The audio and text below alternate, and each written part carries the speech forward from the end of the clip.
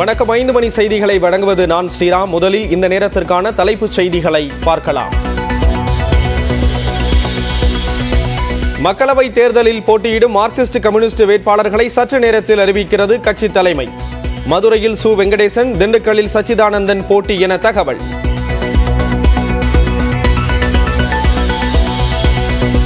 அதிமுக தேமுதிக இடையே கூட்டணி அமைப்பதில் தொடர்ந்து இழுபறி. இரு கட்சிகளின் நிர்வாகிகள் சந்திப்பு திடீர் ரத்து.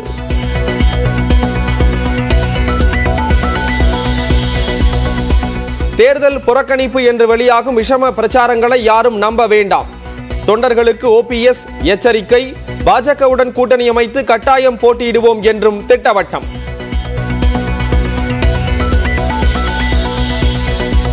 இரட்டை இலை சின்னம் தொடர்பாக ஓபிஎஸ் ஆதரவாளர் புகழேந்தி தொடர்ந்த வழக்கு. நாளை தீர்ப்பளிக்கிறது டெல்லி உயர்நீதிமன்றம்.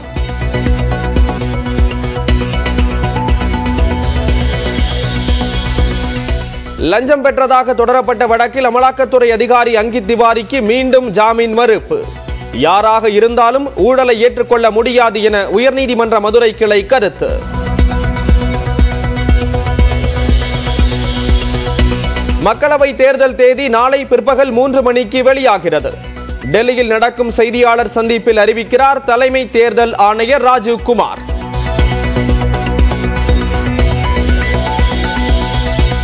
தமிழ்நாட்டில் ஒரே கட்டமாக மக்களவை தேர்தலை நடத்த வாய்ப்பு.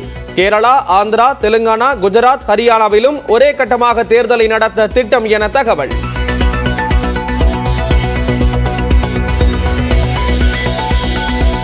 கன்னியாகுமரி முதல் காஷ்மீர் வரை பாரதிய ஜனதா அலை வீசுவதாக அகஸ்தீஸ்வரம் கூட்டத்தில் பிரதமர் மோடி பெருமிதம் தமிழ்நாட்டில் திமுக காங்கிரஸ் கூட்டணி மக்களால் துடைத்து எரியப்படும் என்றும் பேச்சு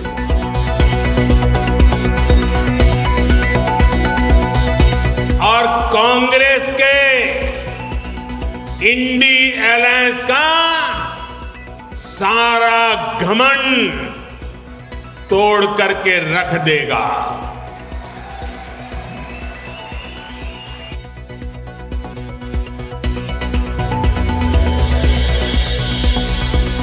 தமிழ்நாட்டிற்கும் தமிழ் பண்பாட்டிற்கும் திமுக எதிரியாக திகழ்வதாக பிரதமர் மோடி விமர்சனம்.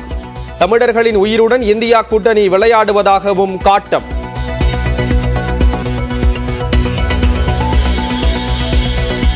ஏஐ தொழில்நுட்பத்தின் உதவியுடன் தமிழில் பேச உள்ளதாக பிரதமர் மோடி பெருமிதம்.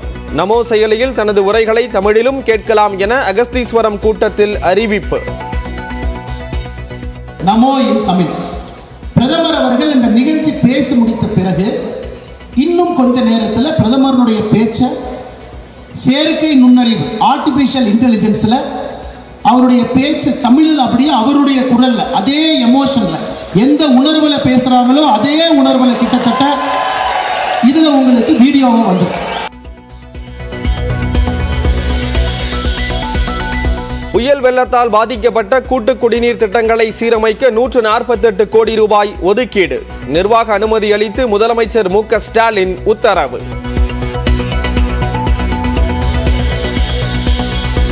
அதிமுக பொதுச் செயலாளர் எடப்பாடி பழனிசாமியை சந்தித்த ஃபார்வர்ட் பிளாக் கட்சியின் தேசிய தலைவர் நரேன் சாட்டர்ஜி. அதிமுக தலைமையிலான கூட்டணியில் இணைந்து மக்களவை தேர்தலை சந்திப்பதாக அறிக்கை வெளியீடு. காங்கிரஸ் கட்சியின் வங்கி கணக்குகள் முடக்கப்பட்டது தொடர்பாக உயர்மட்ட விசாரணை தேவை. பாஜகவின் வங்கி கணக்குகளும் முடக்க வேண்டும் என காங்கிரஸ் தலைவர் மல்லிகார்ஜுனா கார்கே வலியுறுத்தல்.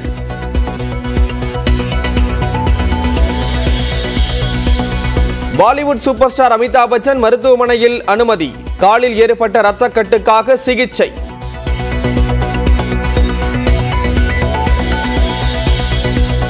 மாநகராட்சிகளாக தரம் உயர்த்தப்படும் புதுக்கோட்டை நாமக்கல் திருவண்ணாமலை காரைக்குடி நகராட்சிகள். மக்களிடம் பெறப்பட்ட கோரிக்கைகளை ஏற்று நான்கு புதிய மாநகராட்சிகள் உருவாக்கம் என முதலமைச்சர் ஸ்டாலின் அறிவிப்பு.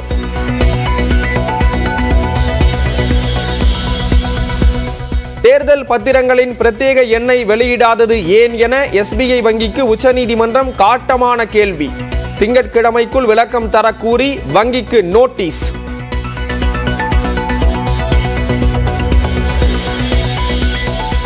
கரும்பு விவசாயி சின்னத்தை நாம் தமிழர் கட்சிக்கு ஏன் வழங்கக்கூடாது? சீமானின் மேல்முறையீட்டு மனு தொடர்பாக தேர்தல் ஆணையம் பதிலளிக்க உச்சநீதிமன்றம் உத்தரவு.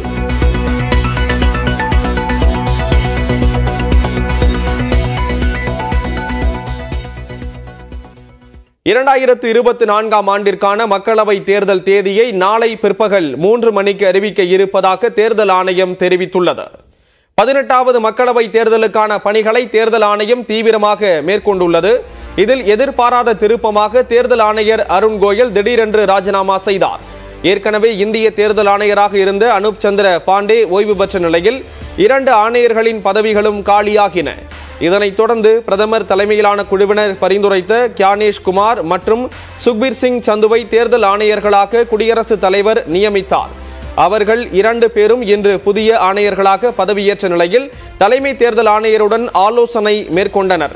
இந்நிலையில் நாளை பிற்பகல் மூன்று மணிக்கு மக்களவை மற்றும் ஒரு சில மாநிலங்களுக்கான தேர்தல் தேதி அறிவிக்கப்படும் என்று தேர்தல் ஆணையம் தெரிவித்துள்ளது.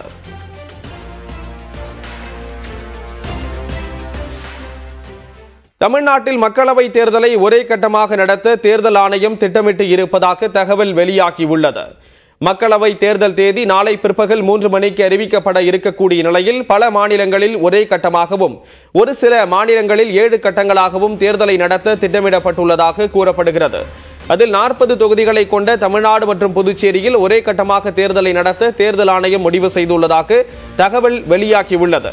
அதே போன்று கேரளா குஜராத் ஹரியானா ஆந்திரா தெலுங்கானா மற்றும் யூனியன் பிரதேசங்களிலும் ஒரே கட்டமாக தேர்தலை நடத்த திட்டமிடப்பட்டுள்ளதாக கூறப்படுகிறது.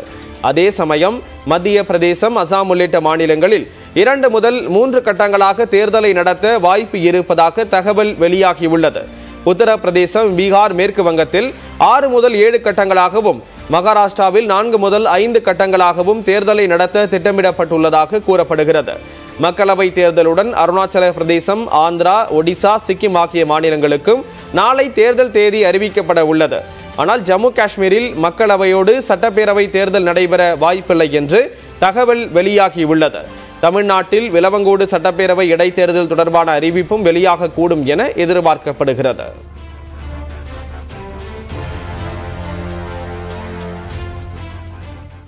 மக்களவை தேர்தலை புறக்கணிக்க மாட்டோம் எனவும் இரட்டை இலை சின்னத்திற்காக சட்ட ரீதியில் முயற்சித்து வருவதாகவும் ஓ பன்னீர்செல்வம் தெரிவித்துள்ளார். அதிமுகவிலிருந்து நீக்கப்பட்ட முன்னாள் முதலமைச்சர் ஓ பன்னீர்செல்வம் மற்றும் தற்போது அதிமுக தொண்டர்கள் உரிமை மீட்பு குழு என்ற பெயரில் செயல்பட்டு வருகிறார். இந்நிலையில் ஓ பன்னீர்செல்வம் தரப்பு தேர்தலை புறக்கணிக்க உள்ளதாக தகவல் பரவிய நிலையில் அது வதந்தி என விளக்கம் அளித்து ஓபிஎஸ் அறிக்கை வெளியிட்டுள்ளார். பொய் பரப்புரைகளை நம்ப வேண்டாம் என தொண்டர்களை கேட்டுக்கொண்டுள்ள அவர் மக்களவை தேர்தல் குறித்து எடுக்கப்படும் முடிவு தன்னால் மட்டுமே அறிவிக்கப்படும் என குறிப்பிட்டுள்ளார். தேர்தலில் இரட்டை இலை சின்னத்தில்தான் போட்டியிட வேண்டும் என்பது தங்களின் விருப்பம் எனவும் இரட்டை இலை சின்னத்தை பெற சட்ட ரீதியிலான முயற்சியில் ஈடுபட்டு வருவதாகவும் ஓ. பன்னீர்செல்வம் விளக்கம் அளித்துள்ளார்.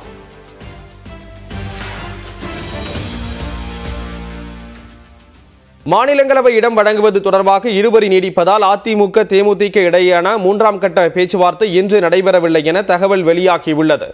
மக்களவை தேர்தலில் கூட்டணி அமைத்துள்ள அதிமுகவும் தேமுதிகவும் தொகுதி பங்கீடு குறித்து பேச்சுவார்த்தை நடத்தி வருகின்றன. இரண்டு கட்ட பேச்சுவார்த்தை முடிவடைந்த நிலையில் இன்று மாலை மூன்றாம் கட்ட பேச்சுவார்த்தை நடைபெறும் என தெரிவிக்கப்பட்டிருந்தது. ஆனால் மூன்றாம் கட்ட பேச்சுவார்த்தைக்காக அதிமுக தரப்பில் நேரம் ஒதுக்கப்படாததால் இன்று சந்திப்பு நடைபெறாது என தேமுதிக தரப்பில் தெரிவிக்கப்பட்டுள்ளது. நான்கு மக்களவை தொகுதிகளுடன் ஒரு மாநிலங்களவை இடத்தை தேமுதிக கேட்பதால் பேச்சுவார்த்தையில் இழுபறி நீடிப்பதாக கூறப்படுகிறது. மாநிலங்களவை இடம் வழங்க சம்மதம் தெரிவிக்காத அதிமுக ஆறு மக்களவை தொகுதிகளை கூட வழங்க தயாராக இருப்பதாக தகவல் வெளியாகியுள்ளது. எனினும் மாநிலங்களவை இடம் வேண்டும் என்பதில் தேமுதிக உறுதியாக இருப்பதால் அதிமுக தரப்பு அமைதி காப்பதாக கூறப்படுகிறது.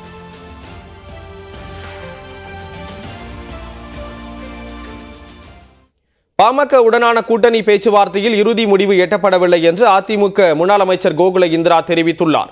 நியூஸ் எயிட்டின் தமிழ்நாட்டின் வணக்கம் தமிழ்நாடு நிகழ்ச்சியில் கலந்து கொண்டு பேசியவர் அதிமுக தனித்து போட்டியிடவும் தயாராக இருப்பதாக கூறினார். அதிமுகவோடு கூட்டணி அமைக்கும் அப்படின்னு நம்பப்பட்ட கட்சி பாட்டாளி மக்கள் கட்சி. அந்த கட்சியோட பேச்சுவார்த்தை நடந்ததா? இப்ப எந்த நிலைமையில இருக்கு? இல்ல பேச்சுவார்த்தையே நடக்கலையா?